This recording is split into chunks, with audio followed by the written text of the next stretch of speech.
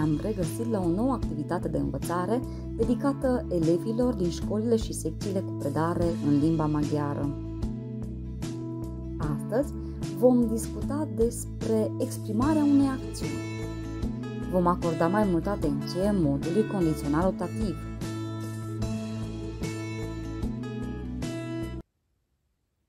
Care este secretul construirii unei propoziții corecte?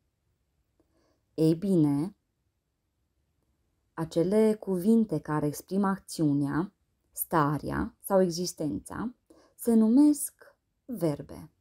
Le folosim adesea în comunicare.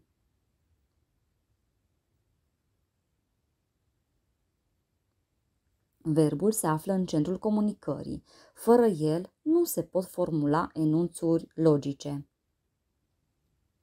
Îți amintești care este modul predicativ prin care se exprimă o posibilitate, o condiție și o consecință depinzând de ea, sau o dorință, chiar o urare? Cu siguranță îți amintești că pentru a exprima o posibilitate, o condiție, vom folosi modul condițional optativ.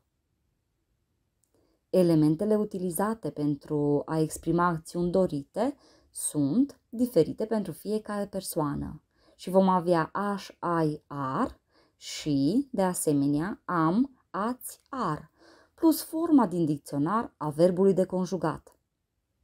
Identifică acum verbele la modul condițional optativ prezent din enunțurile următoare. Aș vrea să plece cât mai repede de acasă. Mi-a spus că ar cânta, dar îi este rușine. Tu ai scrie mai frumos cu pixul meu.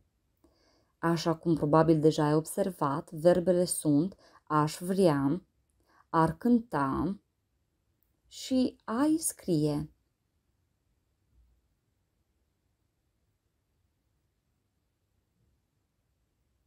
Citește cu atenție enunțurile următoare și precizează care dintre semnificațiile verbelor este exprimată în fiecare dintre acestea. Vei vedea că aș dori puțină apă reprezintă o cerere politicoasă. A trebui să pună dezinfectanți în fiecare magazin reprezintă o opinie. Aș, de a-și avea și eu o rachetă de tenis este o dorință de a ști omul ce l-așteaptă, s-ar opri din drum, este o condiție. Alege forma corectă a verbelor la modul condițional optativ.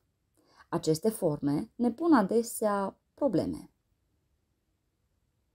Vom spune corect, iar displăcea, ar apărea, ar bate mingea și nu ar bătea mingea, aș pleca, și mi-ar plăcea și nu mi-ar place.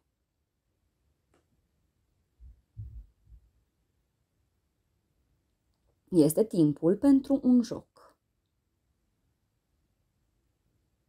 Completează enunțurile de mai jos cu răspunsuri cât mai sincere, care să te reprezinte. Vei primi din partea noastră câteva sugestii, însă în caietul tău vei putea crea în liniște și în timpul tău propriile tale variante.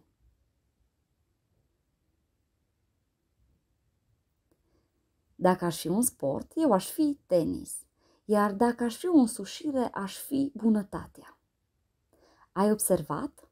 Verbele folosite în acest exercițiu au fost la modul condițional optativ.